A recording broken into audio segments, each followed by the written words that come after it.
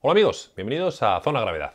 Los depósitos, eh, su función es suministrar continuamente líquido de frenos eh, para que el sistema jamás, jamás necesite, eh, nunca le entre aire en el interior. los depósitos siempre tienen que estar, lógicamente, más altos que los cilindros maestros para que por gravedad vaya cayendo el líquido. Estos cilindros maestros a veces tienen los depósitos incorporados en la misma pieza de fundición, en ocasiones son unos depósitos que simplemente son unos depósitos pequeñitos de plástico que van roscados en, la conexión del, depósito. O en ocasiones incluso pueden ser remotos. Tú puedes tener el depósito un poquito más alto y un pequeño latiguillo que lo une con el cilindro maestro. Esto tiene varias ventajas. La primera, que nos te permite esconder los cilindros maestros eh, en un sitio y los depósitos en otro. Si andamos muy justos de, espacio, los podemos poner en otro sitio. Y está relacionado con eh, la diferencia de altura entre el depósito de los cilindros maestros y las pinzas de freno. Es interesante, si puedes, que los depósitos de los cilindros maestros estén más altos que las pinzas de frenos.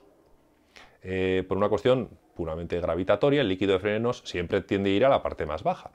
Cuando tú accionas el freno, eh, luego la pinza de freno eh, presiona a su pistón, que está conectado con la zapata de freno, y al volver no llega a volver hasta la posición total de reposo de la pinza de freno, eh, además porque tiene una junta tórica que está sujetando, tiene una cierta fricción con la pared de la propia pinza de freno las vibraciones y los movimientos pueden hacer que realmente esta junta tórica no sea capaz de sujetar a la pinza de freno, al pistón de freno en su sitio y llega a retroceder hasta el final. Si nosotros nuestro depósito de líquido de frenos está más bajo que las pinzas de freno, el líquido se nos va a volver al depósito del líquido de frenos. ¿Qué es lo que ocurre? Grave, grave, nada. Tú cuando presiones el pedal de freno, simplemente la primera patada que le des vas a volver a mm, mm, llevar el líquido de frenos otra vez a la pinza de freno, que va a volver a su posición original. Pero claro, esta primera presión del pedal va a ser más larga de lo normal, va a tener más recorrido de lo normal. Eso no nos interesa. Si tú tienes el depósito de, líquido de frenos más alto que las pinzas de frenos, no te va a ocurrir esto. El líquido de frenos nunca va a tender a volver al depósito porque está más alto. En la duda, se tenderá a volver a las pinzas de freno. Si no lo puedes evitar y sufres de este problema, que realmente la primera eh, presión del pedal eh, es más larga que las demás, puedes instalar lo que se llama una válvula antirretorno. Es un elemento muy sencillito de aluminio que se inserta en el, circuito hidráulico, generalmente cerca de los propios cilindros maestros, y que lo que hace es permitir el flujo de líquido de frenos en las dos direcciones, pero eh, por debajo de una presión determinada solamente le deja avanzar y no retroceder.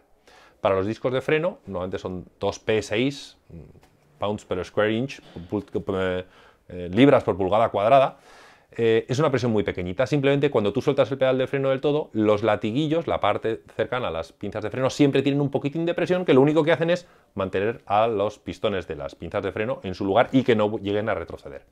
Si tienes un problema, ya te digo, de retroceso del, líquido de frenos, puedes probar con una válvula antirretorno de este, de este tipo. Hay otras válvulas antirretorno que son para discos de tambor, que en vez de 2P6 son 10. Esa no las insertes porque tendrás problemas. Se utiliza siempre una específica para, para freno de disco. Nos vemos en el próximo capítulo.